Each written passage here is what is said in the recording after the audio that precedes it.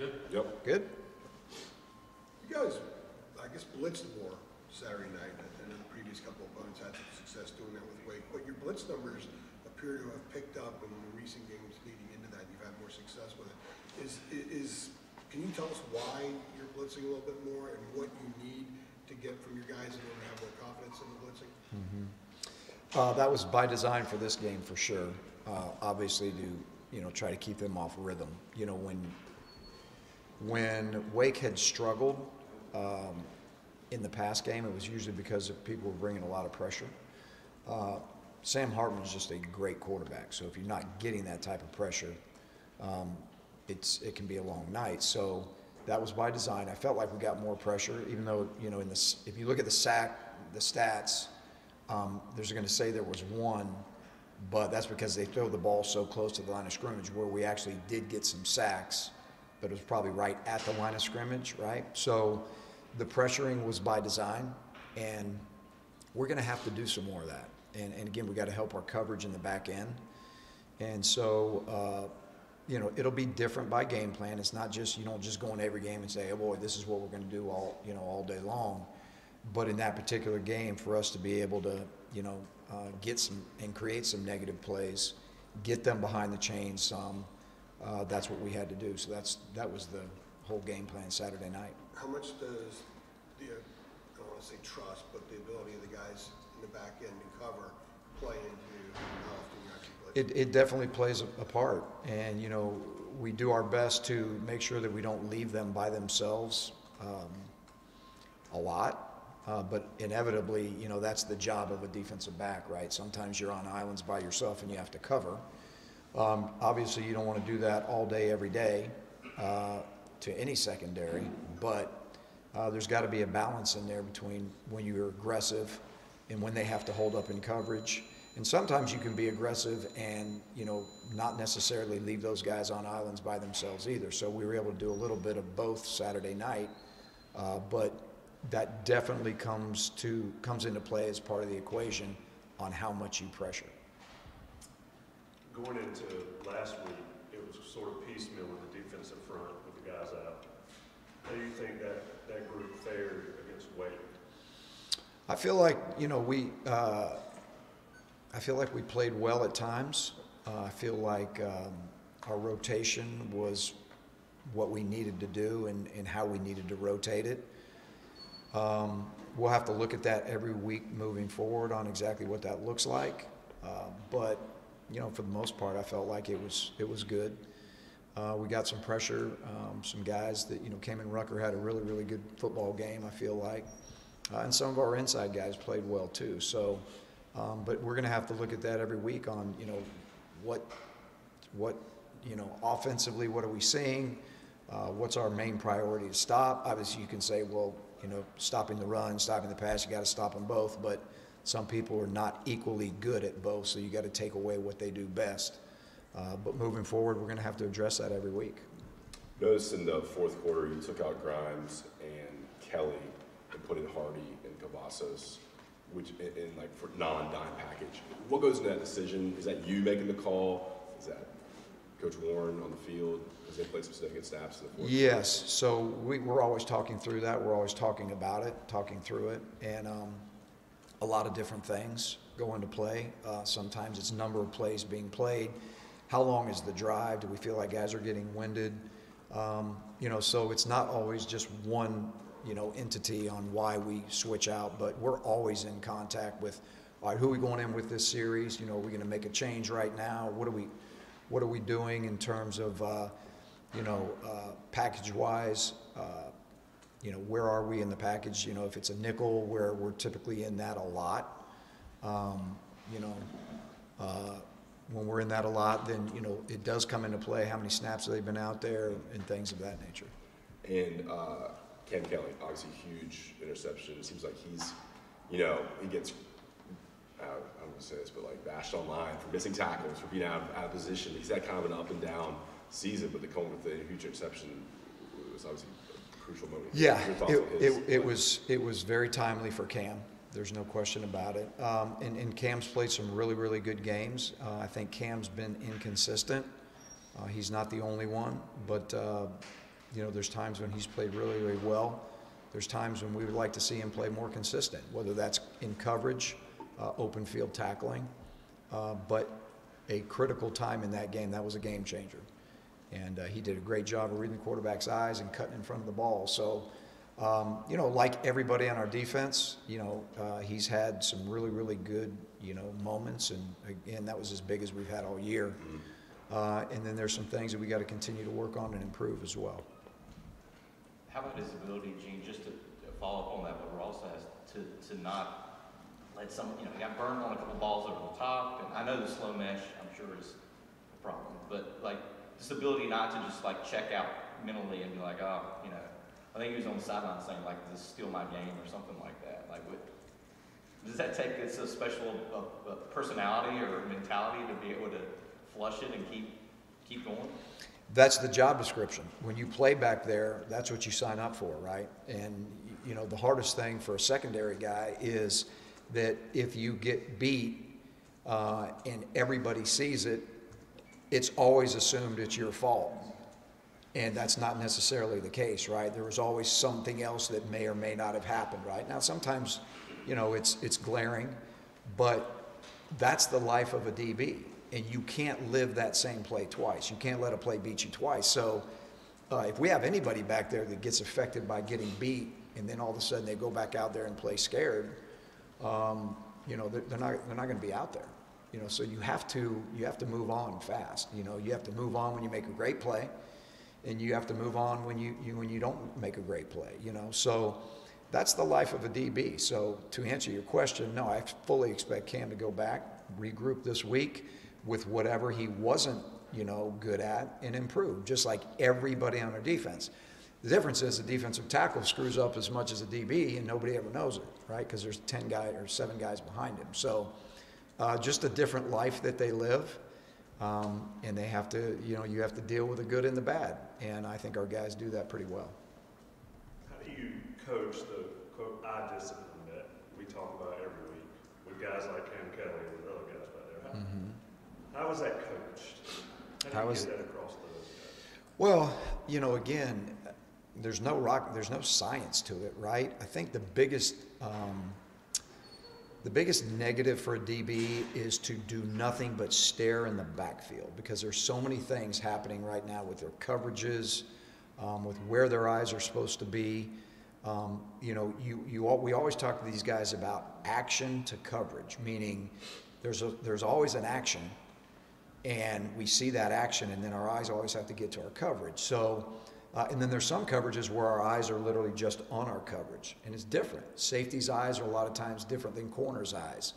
Corner's eyes are different than linebacker's eyes, right? And as you get closer down to the defense, everybody's eyes become more centrally located on something. So, for example, a defensive tackle is going to look at the man right in front of him, right? You're not going to fight Mike Ty- Tyson looking over here and that's what you got in front of you, right? So, but everything is about eye discipline, and everything is about you know what is the coverage, what does the defense ask you to do, uh, and there's no rocket science to it. You're either doing it or you're not doing it, and if you're not doing it enough, then you're not going to be playing. Um, but you know, in general, uh, if you are a disciplined defense and you're a disciplined player, then you have great eye control, and if you don't, you don't. So we coach it, we talk about it every day, we coach it off of film, and, um, you know, the players got to execute it. Gene, what would you say makes uh, Kaimon Rucker so effective? It, it almost seems like, you know, you could look at him being undersized and a lot of things, reasons why he shouldn't be as good as he is, but he always seems to make plays. Yeah, he, he is. He's a, he's, he's a football. He's a natural football player, first of all. Um, he gets the game. He plays with great leverage and power. Uh, his practice habits are outstanding. I mean, he is practicing as hard as he can go every single day, and it carries over in the game. But he's a powerful guy, and um, he's um, he's got really, really good suddenness, really good short area quickness, which makes him, you know, uh, be able to take on blocks and really be, you know, stout and, and hold the point in the run game. Uh, and then uh, in the pass game, because of his, you know, he's not a 6'4", real long guy. You know, he's a 6'2", guy, uh, and maybe a little taller, but uh, but just really powerful. So he strikes blocks and he gets under people's pads, and you know he can he can use his his uh, his leverage and, and his low gravity or low center of gravity right now to really really work those offensive tackles who are six six as well. So, and it's a knack.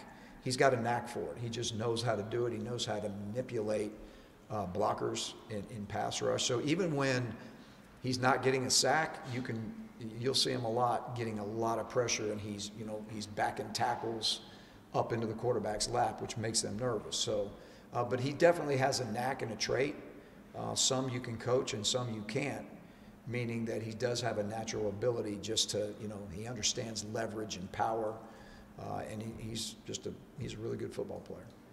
Along similar lines, Gene, I was, I was, I agree with you. I'm just looking at the numbers here again. I, thought that you guys had way more like pressures and quarterback hurries and everything. But um, Javari Ritzie, like, for whatever he is, 290 pounds. Like, is he maybe surprising as a pass rusher? It seems like when he bounces out to end, sometimes you see him flying in there. You know, you know, like, is he is he a better pass rusher than maybe you would expect for a guy who I guess technically is an interior lineman Right. or, you know, plays there, like, Well, that's the beauty of a guy like Ritzie because he's very athletic. He is 290 plus pounds, and for us to be able to move him outside, first of all, is is um, that's a unicorn. They're just it's really hard to get big guys out there on the edge, uh, and he's able to do that well.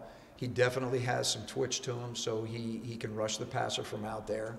Um, the luxury with him is there's probably not a place on the interior four units or four positions on, on the defensive line he couldn't play. He could play nose, he could play three, he could play power end. Probably move him out to jack if I wanted to teach him how to, you know, do some things in coverage. But uh, just a very big athletic bo- body and really smart. And it, it takes a lot to be able to learn all of those positions because there's a lot that goes into that. But uh, he's just one of those guys that athletically he's very gifted. Um, he understands leverage. He knows how to rush the passer. And, um, you know, we're lucky to be able to have the flexibility of a guy like him that can go in and out because uh, that doesn't happen everywhere with guys that are 6'4", you know, 290. Gene, you're uh, two for three on the ACC championship game appearances during your time at Carolina. So what are your thoughts on that? It's pretty good percentage there. Yeah, I'll take it. Um, no, I, I'm excited that we that we're in a, in a position like this. Um, it's been uh, it's been it's been a very interesting and fun ride for sure. Um, you know, I think uh, again, like everything, as we as we warn the players, right? Like we're all excited about this, and it's it's a it's a really good accomplishment. But there's there's so much in front of us that we can't really look to that. We have to really look to the you know to the game that we have this week and the game that we have next week, and then and then we'll finally get to that. But it's really good to be you know uh, to have clinched that spot this early, and now we got to play like we we deserve it.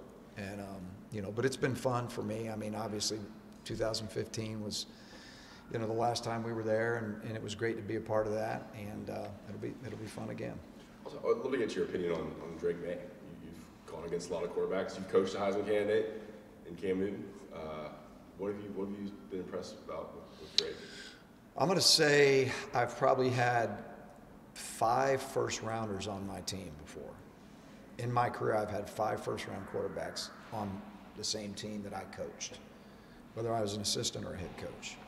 Uh, and some really good ones that weren't. Colt McCoy, I think, was a second round or third round, but great quarterback. Anyway, I've been around a lot of great college quarterbacks. Um, Drake Maye is special. He is he's special. He's got I mean Phil does a great job coaching him. The scheme is great with him.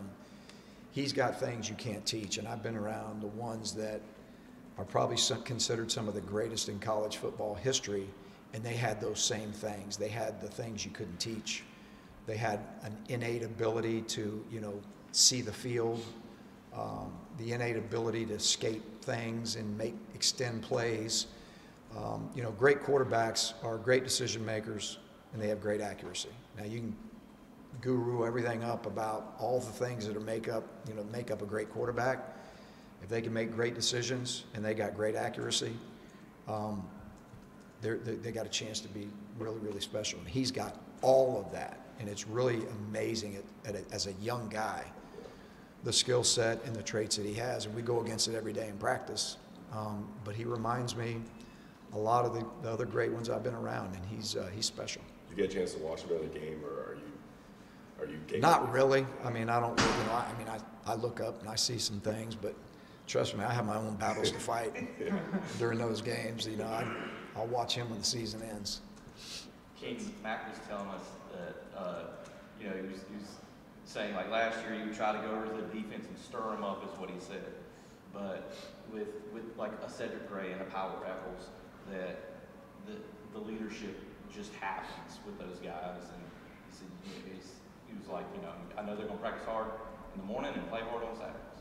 I know that. Like what, when you have those guys displaying like the leadership type of thing, the intent, the innate things, like you're you're saying, like mm-hmm. how do you approach that as a coach who's in charge of it? You just let them go, or I mean, do you guide that? Do you nurture it? Do you listen to what they're saying and, and, and- and grade what they're saying to their guys? Like, just how do you approach that when you have guys like that who, who seem to be such natural leaders, Right. and people are listening to them? They are, and it's uh, first of all, it's it's a luxury because it doesn't happen everywhere. It's really rare to have one. I mean, not really rare. It's it's common to have usually one, but to have two or more. Um, you just used Power said as the example. Um, two guys with a great voice, um, but what they not only is it what they verbally say and do, it's what people watch them do in practice, how they prepare off, you know, off the field, in the meeting rooms, spending extra time to, to come over and, and, and do football because they love it. Um, it's, it's great to have those type of leaders, and they're rare. And so when things aren't going well for us, these guys are a calming force in that. Now, part of it, they've grown. Feel like they've grown over the year. Uh, and I think that, you know, in the offseason and some things that Coach Brown and, and some of the guys, staff-wise, have done to, you know, um, nurture leadership.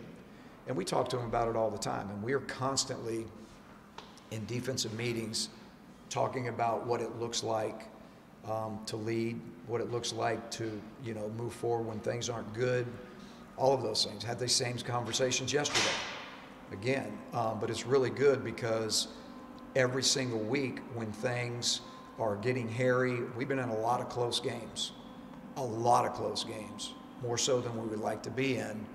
But obviously, we've pulled out a lot of them, and we pulled a lot of them out when it hadn't looked good at all. Uh, and we've been able to do that. You can't do that without the leadership that, that you see and that you hear about, and it's real. So going over and you know having to stir them up on the sidelines or, or whatever um, you know the conversation was, um, not they don't they don't really need that. They've got the leadership. Um, they don't they don't ever panic. They don't ever panic. Um, they know when it's good. They know when it's bad. Uh, but more importantly, they know when and how to fix it. Uh, and, you know, it's been a pretty opportunistic defense. I mean, the fourth quarter, you know, we didn't give up a point. And somehow or another, we were able to, you know, close out three straight drives. Wasn't always pretty. Um, but we're looking for results, you know? And, um, and so, but again, all of that comes down to being able to have young guys that, that are mature, they lead, um, they don't panic. Uh, and the two guys with set and power, um, I, I, don't, I don't know that I've been around two that have been better at it. Gene, when looking at Georgia Tech's offense, obviously very different the last time you were here when they ran the triple option, but what, what are some of the major talking points uh, that you're going to use with the defense this week with regards to that? Well, again, the you know Georgia Tech before their quarterback got hurt, they had some really really good wins. This is still a very good football team. They still got very good players. Um, obviously, the question is who's going to be quarterback. Um, we don't really know that yet, um, but it's productive. Um, they got, you know, they, they throw the ball well and they and they run the ball well. Uh, it's just a matter of you know who's going to be at quarterback and you know what are they going to what are they going to do and how to you know how are they going to attack us? We don't know that because every week they have a different plan on how they go about trying to attack defenses. Uh, so a lot of it's going to be us lining up and saying, all right, let's see what their let's see what their idea is this week, and let's see what, who their quarterback is. You know, if Sims plays, that's a lot. That's a that's a very different offense right now in terms of what you have to do to defend it and stop it. Uh, so um, you know we got to see we got to see what uh, what they come out in. But got some really good, tall, big, athletic receivers. Got some really good running backs. Uh, got some good tight ends. So um, it's business as usual, and it's never really about them anyway. It's really about us. Um, so the, the message won't change there. Yes, sir. Awesome, guys. Thanks, Coach. Thank y'all. Appreciate it.